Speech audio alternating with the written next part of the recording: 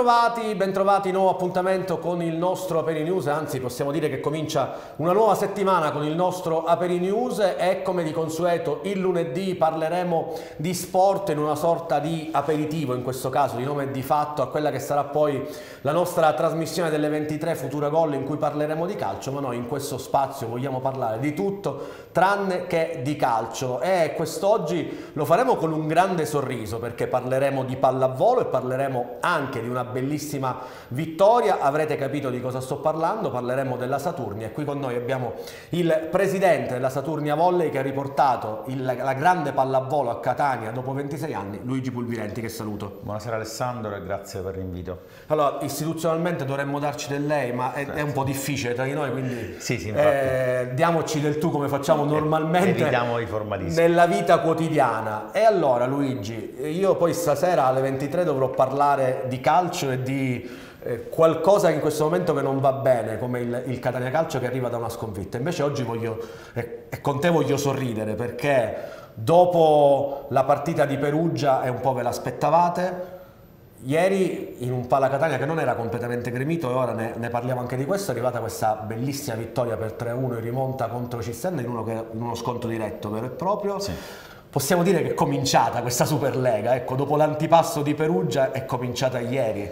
Ma eh, secondo me invece è giusto dire che è cominciata mm. con la sconfitta di Perugia perché che ci sta, eh, ci sta e eh, noi siamo anche consapevoli che eh, potranno esserci altre domeniche come quella di Perugia eh, quando incontreremo squadre attrezzate per disputare nell'ambito della Superlega un altro campionato rispetto a quello al quale eh, partecipiamo noi, che è quello della salvezza.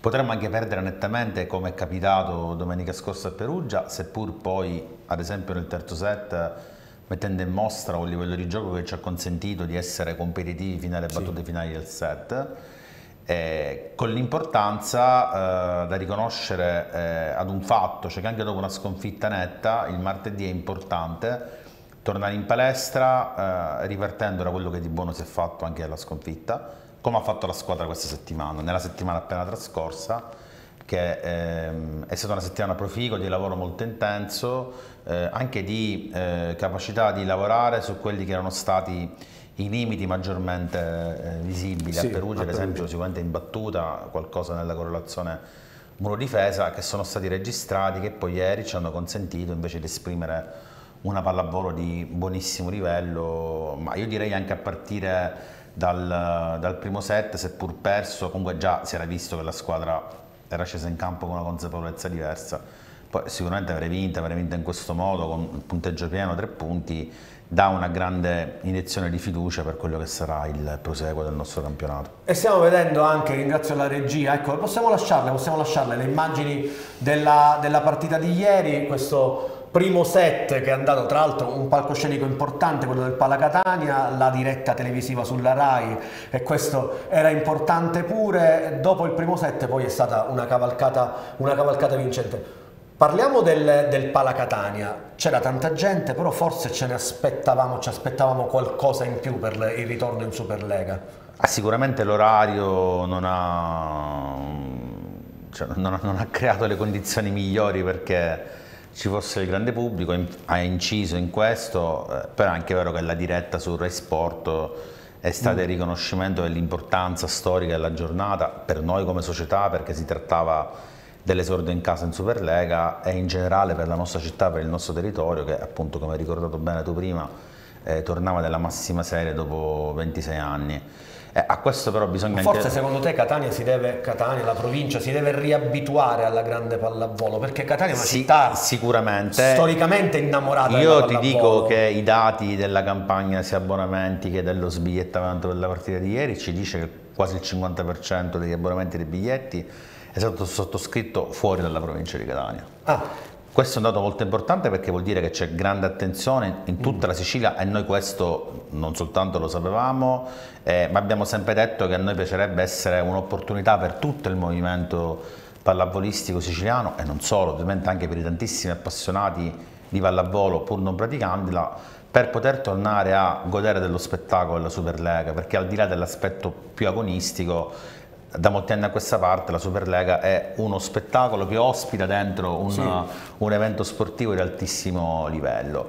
E sicuramente Catania, diciamo, un po' diciamo, eh, eh, c'è una cosa da dire che ehm, c'è un po' di scetticismo, ma mm, probabilmente legato al fatto che il doppio salto di categoria è stato magari considerato da qualcuno più o meno dell'ambiente pallavolistico come un passo più lungo, lungo della eh. gamba, ma in realtà noi l'abbiamo fatto soltanto perché c'erano le condizioni economiche, organizzative, logistiche per poterlo fare perché c'eravamo posti con ecco io lì ci, ci, volevo arrivare ci sarei arrivato ci sei arrivato tu quindi prendiamo questo, se, questo finisco il, la, la, la, seconda parte diciamo, del, del, del discorso c'è un po' di scetticismo e poi c'è anche un'altra cosa che dobbiamo ricordare, che essendo uno spettacolo eh, che mettiamo a disposizione del pubblico, ma che comporta tanti sacrifici ovviamente mm.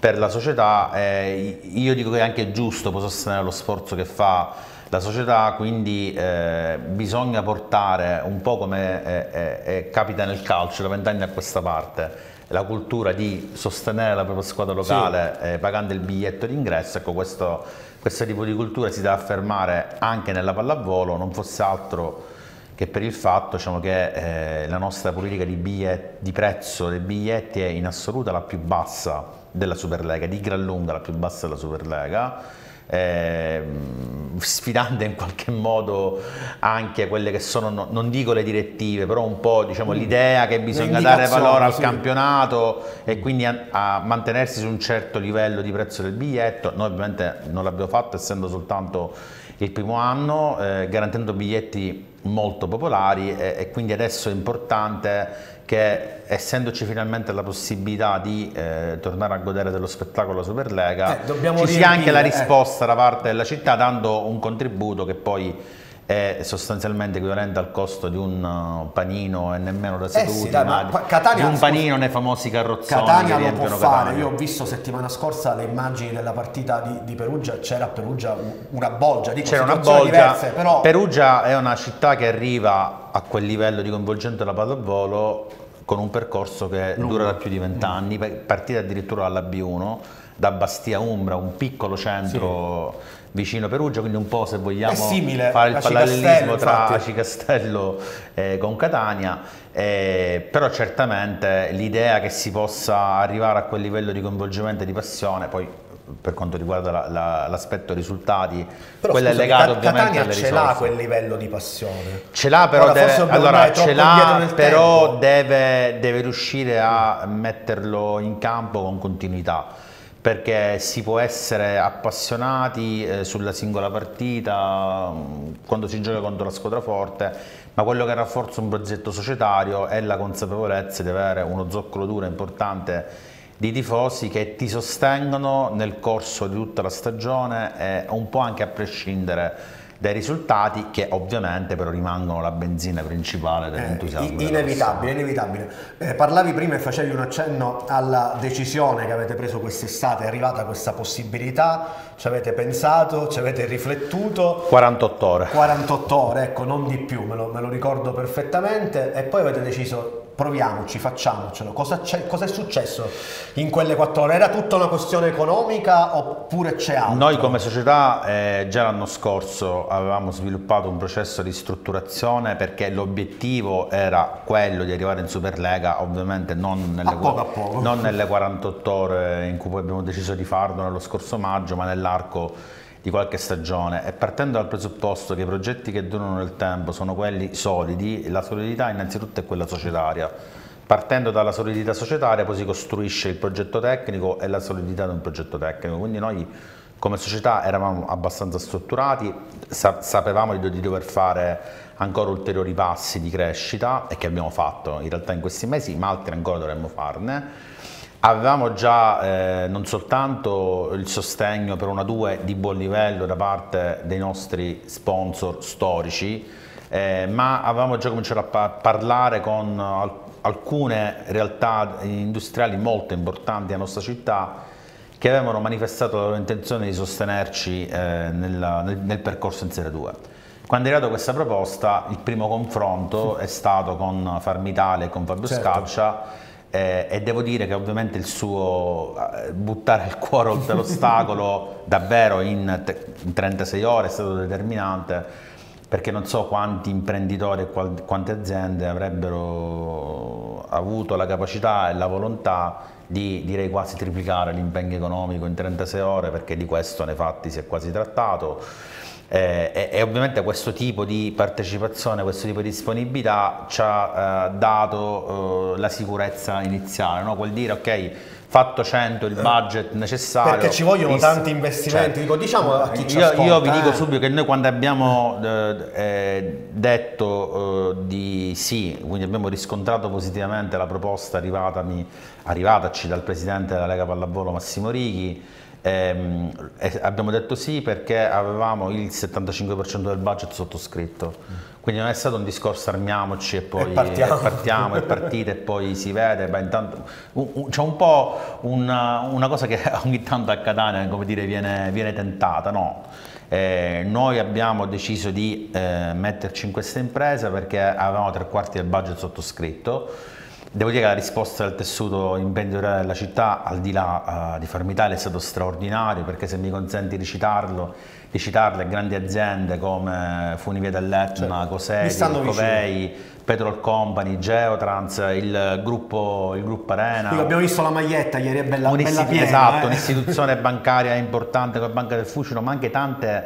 Eh, medio-piccole realtà del territorio che sono delle eccellenze nel, diciamo, nel, nel loro settore di attività ehm, sono coinvolte nel progetto della Saturnia e questo ci dà anche un po' ehm, la, la serenità di poter pensare in prospettiva perché se saremo bravi eh, con i risultati ovviamente ma anche con la capacità organizzativa eh, di far bene quest'anno eh, io credo che il rapporto con i nostri sponsor che non sono degli sponsor e basta sono a tutti gli effetti coinvolti nel nostro progetto dei partner, certo. dei partner potrà soltanto crescere e crescendo potrà crescere anche la qualità del, del, progetto tecnico che noi abbiamo in animo di sviluppare. Abbiamo due minuti, in 30 secondi mi dici cosa è successo con Cantor, se si può dire? Assolut no, certo, l'abbiamo anche detto nella conferenza stampa di presentazione del nuovo allenatore, noi con Cantor, con Baldo, che, insomma, al quale comunque mi legano sentimenti di affetto e di stima e di amicizia storico, certo. che sono diciamo, rimasti assolutamente inalterati.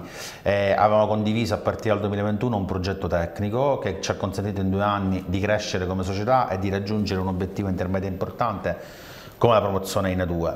L'anno scorso al termine della stagione, in coincidenza col periodo no della squadra, le famose 5 sconfitte mm. consecutive, eh, era nata qualche diversità di vedute dal punto di vista tecnico che poi arrivata la proposta di Superlega abbiamo deciso di diciamo, mettere da parte, da parte. Eh, pensando di poter continuare insieme però in realtà diciamo, queste diversità di vedute eh, si sono riproposte nel corso della preparazione soprattutto eh, diciamo, rispetto all'idea di come vada gestito eh, un gruppo che non è soltanto composto da sei giocatori ma sono ah tan, certo. tan, tante risorse che vanno tutte utilizzate perché tutte saranno utili e saranno importanti per raggiungere il nostro obiettivo stagionale quindi non c'è stata più eh, identità di vedute su questo, quindi sulla conduzione tecnica della squadra. Io ritengo che la responsabilità di una uh, dirigenza sia quella di assumere eh, le scelte che ritiene più giuste nel momento in cui si palesa la, la necessità della scelta, senza dilungarsi, senza attardarsi, senza perdere tempo inutilmente, se ovviamente la scelta è stata messa a fuoco. Poi ovviamente ci si assume la responsabilità della scelta ed è quello che noi faremo da presidente con, lo farai, con, consegnandoci al responsabile del campo che è un vaglio insindacabile. E il sponsor del campo finora ha detto che dopo Perugia ieri è arrivata una vittoria che credo sia fondamentale, per, anche se alla seconda contro giornata. Contro Cisterna, magari avessimo vinto contro eh, Perugia. E eh, vabbè, poi a poco a poco, a poco a poco. È finito, è volato il nostro tempo, ma ritorneremo a parlare di Saturnia, magari anche con Luigi Con grande piacere. Con qualche altro componente dello staff, con qualche giocatore, sai che ce n'è uno a cui sono parecchio legato per motivi familiari e che ieri ha fatto una partita fatto incredibile, sto parlando di Luigi Randazzo che conosco finché fin, eh, fin, da quando è bambino, ma ne parleremo. Luigi Pulvirenti, grazie. Grazie a voi. Grazie, grazie a Luigi Pulvirenti. Io vi ricordo alle 23 torniamo a parlare di sport ma di calcio con Futura Gol. Grazie per averci seguito.